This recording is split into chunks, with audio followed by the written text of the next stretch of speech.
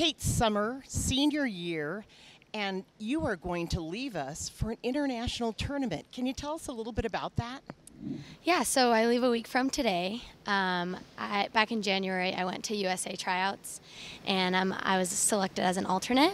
So this agency recruits those alternates um, and puts together a global challenge team in Europe.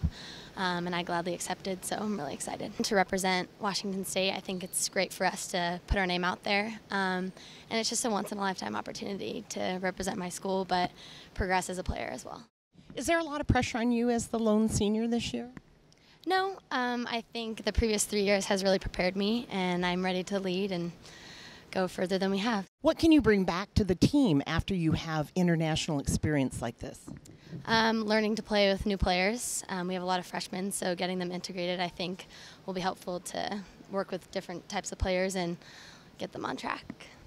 What is the one thing that you're looking forward to seeing on this trip? the beautiful beaches of Croatia. I hear they're awesome.